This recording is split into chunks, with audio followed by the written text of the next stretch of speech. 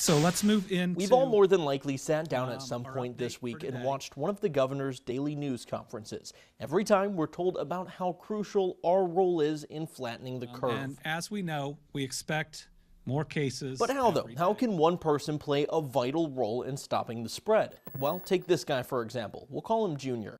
Junior here just got back from a trip and he doesn't know it now, but he actually has the novel coronavirus. He just won't start showing symptoms for another three to seven days. In some cases, he might not even show symptoms for about two weeks. In epidemiology, the rate of how quickly a virus spreads is called the virus's R naught. COVID 19 has an R naught of 2.2.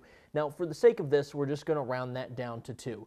But what that essentially means is that for every person that has COVID 19, they're more than likely going to pass it on to two people. Now, let's get back to Junior. He decides to ignore social distancing guidelines and hang out with some friends now that he's back in town.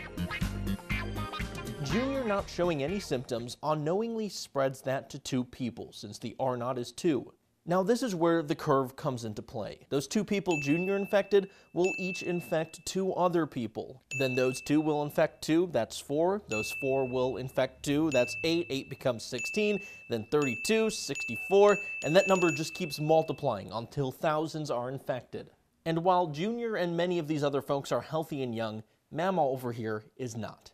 And now she has COVID 19. Her granddaughter unknowingly gave it to her, and her granddaughter doesn't really even know Junior. Now, here's what flattening the curve means. Let's say these four folks social distanced properly, washed their hands, and took all the necessary steps to stay healthy. Now, take a look. All these people may not need to use hospitals or even get tested because they avoided it.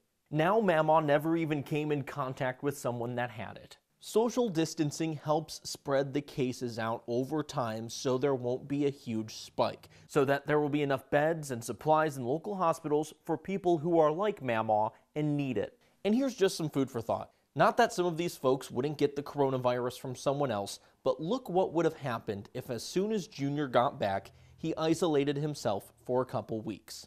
Exactly. He stopped and slowed the spread.